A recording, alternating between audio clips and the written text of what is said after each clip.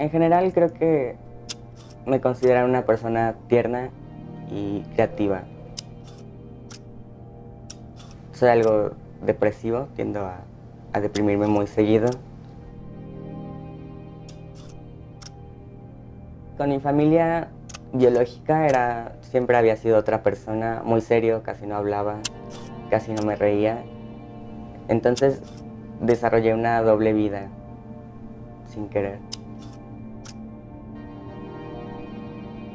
Empecé a hacer drag a inicios de este año porque, eh, bueno, era algo que yo quise hacer antes, cuando no sabía que, que era hombre. Y yo siempre decía, ay, pues en otra vida, después. Y es algo que había dejado guardado en mi cabeza hasta que empecé a ir a shows drag. Luego un amigo hizo su debut como drag. Yo la acompañé con mi primera peluca que compré. Compré nada más para ir a verlo, ¿no?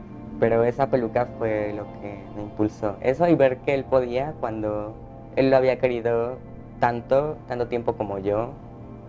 Y encontré un lugar donde ser raro no solo está bien, sino que se aplaude, que es algo que busqué toda mi vida.